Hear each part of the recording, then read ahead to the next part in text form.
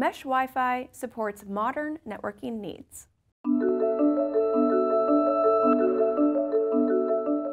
A mesh network is a network topology in which all devices and nodes are interconnected to transmit data, using paths from one device to another. If you're thinking, well, isn't that all networks? Not quite. While many of us seem to experience full interconnectivity between devices, most home and business networks actually use a star-shaped topology in which one central router or switch manages all communication. They're not all connected to each other. So why use a mesh network? Here, we'll go over the basics of mesh networking, mesh Wi-Fi, and why they matter. To dig deeper into all things networking and business tech, visit our dedicated site at the link above or in the description below. And remember to like and subscribe to Eye on Tech for more videos on all things business tech. In a traditional Wi-Fi network, a wireless router or access point acts as a centralized device through which all network traffic funnels. So if you're physically closer to that centralized access point, you'll have a stronger, more stable connection.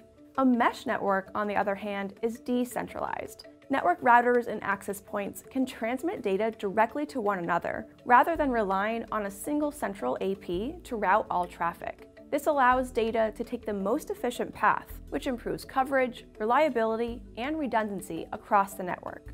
A mesh Wi-Fi system typically comprises a main router and multiple satellite nodes that work together to provide Wi-Fi coverage across a large space, like an office building.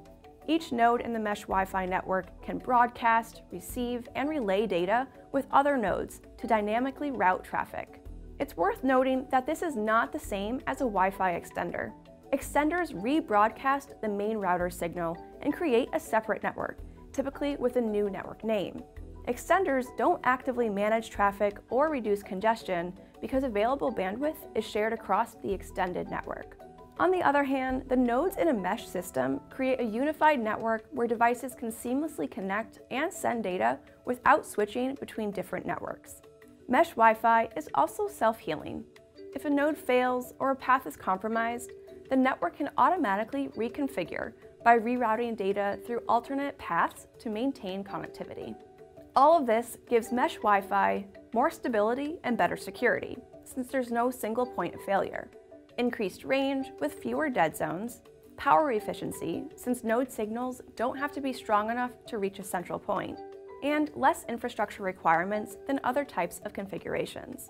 But there are downsides as well, like cost, making it unsuitable for small spaces or budgets, scalability, as adding nodes can be difficult, and complex management and troubleshooting. Do you have a mesh Wi-Fi system in your home? What about your office? Let us know in the comments and remember to like and subscribe too.